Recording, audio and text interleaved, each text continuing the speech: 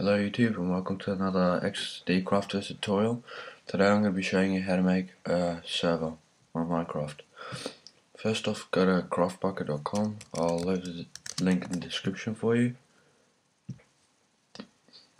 And you just want to download this link right here.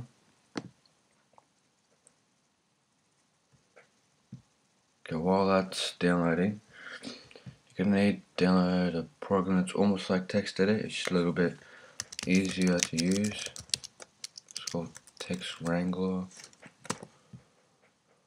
You just download that.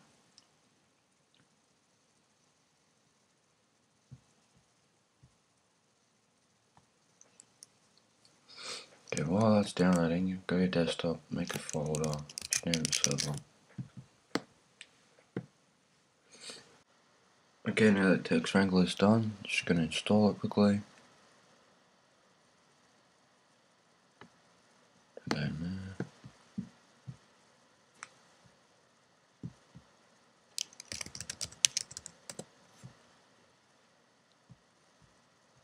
Okay, now open Text Wrangler up.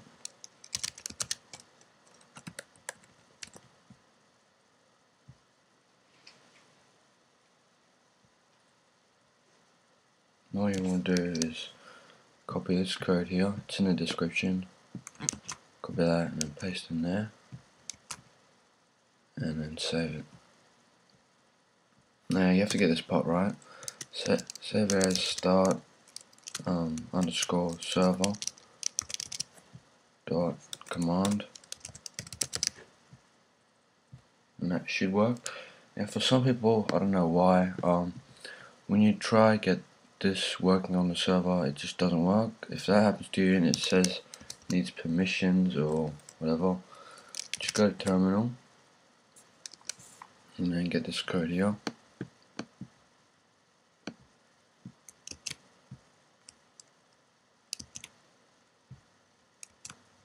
And go space and drag the file in and hit enter now that should be done. Okay, now that your CraftBukkit's done downloading, just drag it right into your server folder and you have to rename it. You have to make sure you get this part right. Just delete all those and just make sure it says craftbukkit.jar. And there you go. Now all you can do is start your server whenever.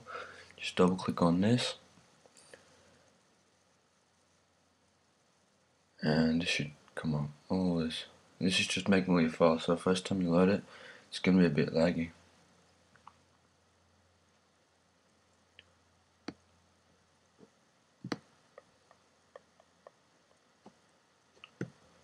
So it's making all the files and everything. Now if you want to join the server and you're the one running it, you're not going to be able to type in the IP, which is, when you get the IP from um, one of the videos I just made,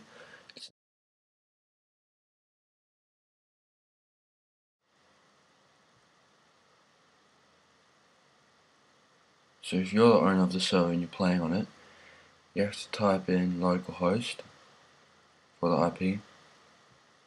Like here, so you just go local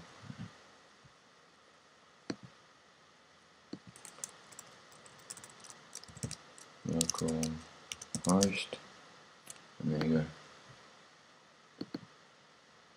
And that's your server.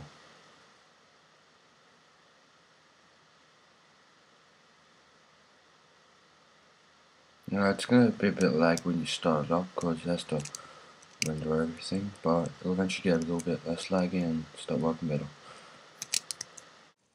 Okay, another important thing is is that you have to to stop your server, you have to type in stop and then hit enter. Don't just go exit it out. And that's about all. And thanks for listening. I'll be making some more tutorials shortly and hope you enjoyed my tutorial.